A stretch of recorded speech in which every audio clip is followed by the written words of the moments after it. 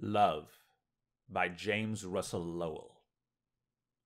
True love is but a humble, low-born thing,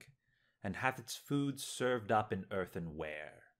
It is a thing to walk with, hand in hand,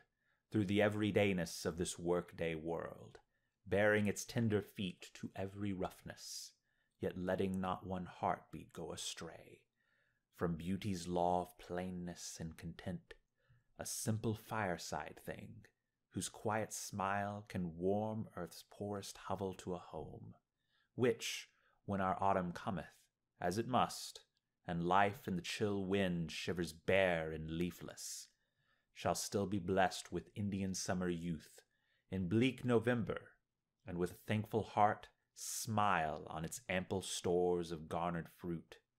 as full of sunshine to our aged eyes as when it nursed the blossoms of our spring. Such is true love, which steals into the heart with feet as silent as the lightsome dawn,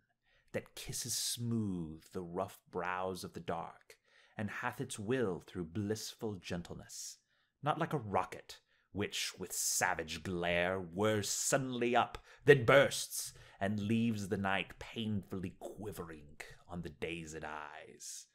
A love that gives and takes, that seeth faults, not with flaw seeking eyes like needle points, but loving kindly,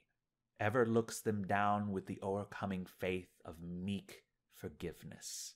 A love that shall be new and fresh each hour,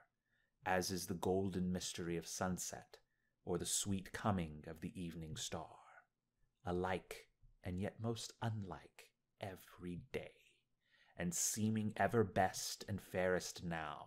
a love that doth not kneel for what it seeks, but faces truth and beauty as their peer, showing its worthiness of noble thoughts by a clear sense of inward nobleness, a love that in its object findeth not all grace and beauty, and enough to sate its thirst of blessing, but in all of good found there, it sees but heaven granted types of good and beauty in the soul of man, and traces in the simplest heart that beats a family likeness to its chosen one, that claims of it the rights of brotherhood.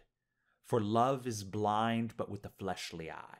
that so its inner sight may be more clear, and outward shows of beauty only so are needful at the first, as is a hand to guide and to uphold an infant's steps. Great spirits need them not.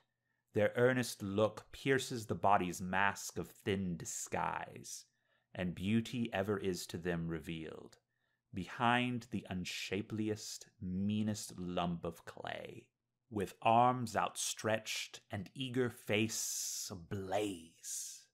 yearning to be but understood and loved.